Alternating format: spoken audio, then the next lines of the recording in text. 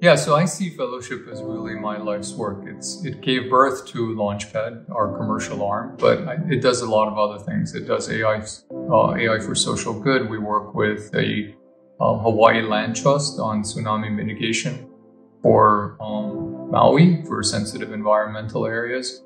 We research various uh, other AI for social good projects like uh, working with medical images for ultrasound images um, to be able to get ultrasound more widely accepted in the world um, from handheld devices like even iPhones being able to conduct ultrasound and being able to provide the machine learning algorithms that then can um, interpret those results or provide, you know, ensure some privacy and um, compliance of those solutions.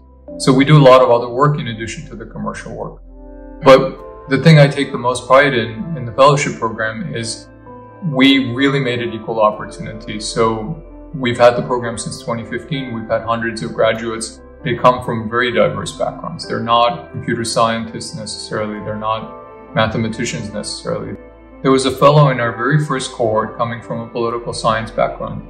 Today, that individual is one of the co-authors of GTP3 model, one of the language models that really transformed general purpose AI. It's really taken the world of language models by storm was co-authored in part by a fellow from our very first cohort.